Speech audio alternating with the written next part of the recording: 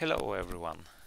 In that video I will show you some nice tricks in DBeaver, uh, especially for these of you that are to say beginner in DBeaver I think will be useful when you install the DBeaver on your computer by default when you open the SQL query tab uh, the line numbers will missed like numbers and will be not so easy to orient it which script on which one is it.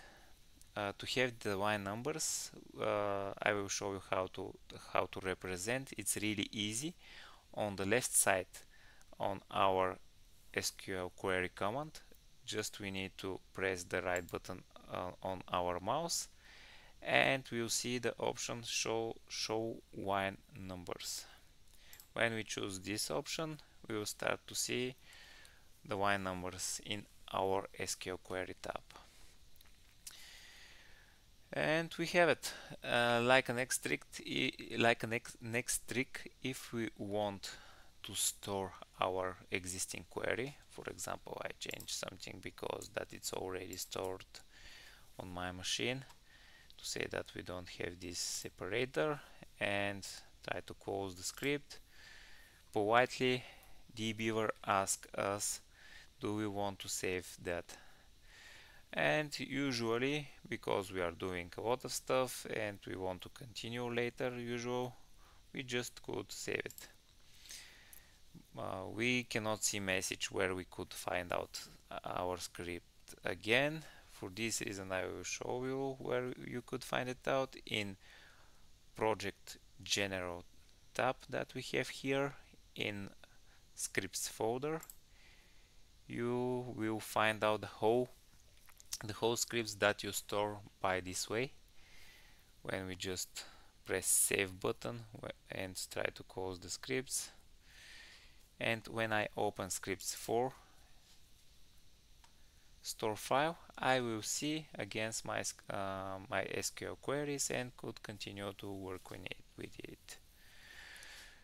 The next scenario that you have sometimes potentially when we work with more than one connection it's potentially could have a problem to run our script on wrong database or wrong server. For this reason we have to be sure that here in place that we should choose our server and our database we choose the right one. And if we want to put attention on them and on our uh, on and on our uh, connections regarding if they are uh, testing connections that we could do what we wish or production and should put attention on them. There is a way to change and edit our connection with this option when we write when we press the right button on our mouse and go on edit connection option. Here in general section we could see connection type options. And here we have development test and production. Uh, by default when we install our DBeaver all of our connections are development but if for example I want to mark this one like a test connection and I want to be sure that everything that I do here will be potentially without a lot of problems. When I choose the connection type just press OK. We'll have a message that this connection will be changed like a type. And when I confirm my choice I will see that my query tab it's marked with like a testing connection. And here on the server name and on the database name I already put attention and could see that uh, that they are chosen for uh, correct and wrong way. Currently on database I see NA should choose the HRM because I want to run my queries on it and yeah and that's it. That's it the way how we could mark our connection like typing if you like this video and want to find out more things we'll be happy to put in comment if you want something uh, like a extra to be represented to you. Like a tricks in DBeaver and we'll be happy if you press the like button or sub and subscribe button for this channel.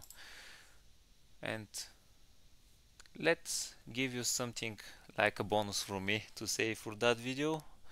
And how we could use um, templates that we create in DBeaver. They are system templates that we could use as sf and uh, like a shortcut name and when we press after these two characters control alt and space as you saw uh, for us DBeaver written select star from and here just we need only to select the tables regarding um, which want which we would like to, to, to, to see the result.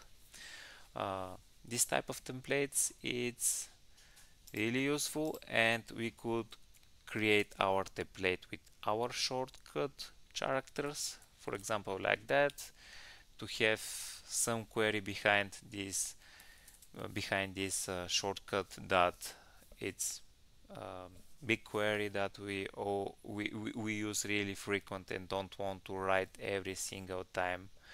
Uh, for example if we want to test something after our deployment or our uh, implementation that we are doing and uh, we should do some regular che uh, checks. And uh, the query that we regularly run we just could create and put like a like a template and with the shortcut and um, uh, and key keyboard combination control alt and space to directly DBeaver put this query in our query tab. Uh, that was from me and if you like that if you want to see how to add this kind of templates just put a comment and I will make a video for you. Uh, thank you and see you next in next video